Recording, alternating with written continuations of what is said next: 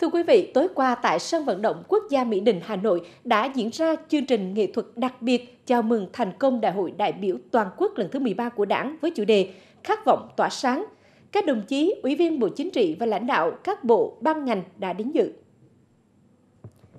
Phát biểu tại chương trình, Ủy viên Bộ Chính trị, trưởng ban tổ chức Trung ương Phạm Minh Chính nhấn mạnh, Đại hội Đảng lần thứ 13 đã thành công rất tốt đẹp. Những thành tựu của 35 năm thực hiện công cuộc đổi mới, 30 năm thực hiện cương lĩnh năm 1991, đặc biệt trong 10 năm thực hiện cương lĩnh, bổ sung phát triển năm 2011 đã tiếp tục khẳng định con đường đi lên chủ nghĩa xã hội của nước ta là phù hợp với thực tiễn Việt Nam và xu thế phát triển của thời đại. Sự lãnh đạo đúng đắn của Đảng là nhân tố hàng đầu quyết định thắng lợi của cách mạng Việt Nam.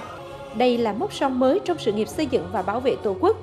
Chương trình khát vọng, tỏa sáng, ca ngợi đảng quang vinh, bác Hồ vĩ đại, thể hiện tình yêu quê hương đất nước, niềm tự hào của nhân dân thủ đô trước những thành tựu to lớn có ý nghĩa lịch sử của công cuộc đổi mới và phát triển đất nước, mở ra nhiều triển vọng mới trước thềm xuân tân sửu, góp phần tạo nên không khí vui tươi, phấn khởi của toàn đảng, toàn dân và toàn quân chào mừng thành công Đại hội Đảng toàn quốc lần thứ 13.